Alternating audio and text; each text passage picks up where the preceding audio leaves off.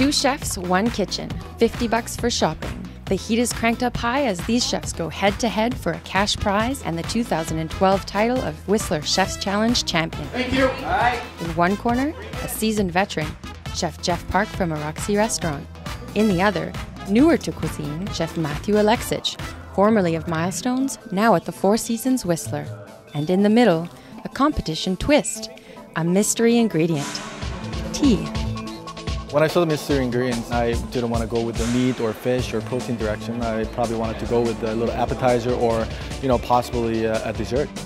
I was so uncertain about what I was going to do. It's either poach seafood or smoke a like a protein like a pork or whatever. Despite initial uncertainty, Matt hit the cutting board with a firm game plan. I went in with a plan, so I knew I was either going to do this or that.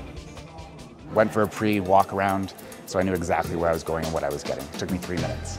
At the grocery store, I knew I was going to do dessert and uh, souffle and, uh, and poached pear, so I just wanted to rush back and you know put that thing on the stove so then I can just you know wait and wait and wait. As the chefs hurtled over their ingredients, racing against the clock, a judging panel of four, including guest chef Nathan Lyon, prepared to score their plates. This was a very unique uh, culinary competition between two amazing chefs because out of one hour they had, I think, 15 minutes max uh, to run over and grab their own ingredients they're going to use. Tea can be kind of fickle, you know, because if you just steep it not long enough, it doesn't have enough flavor and you can't taste it. I infused the cream with the tea and I made the souffle with the cheese. I actually poached the Bosc pear with the oolong tea that we were given. They gave me a ginger oolong tea. I used it as a smoker and I smoked my protein with it. Minutes run out, and it's time to present their dishes.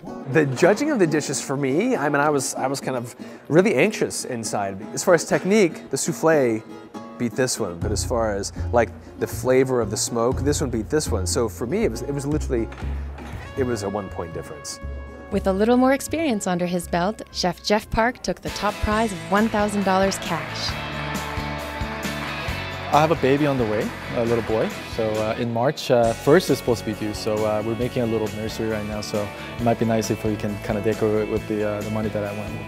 No stranger to the pressure cooker, we know Jeff is not only a top chef, but a number one dad. From Whistler, I'm Melissa Trottier reporting for Shaw TV.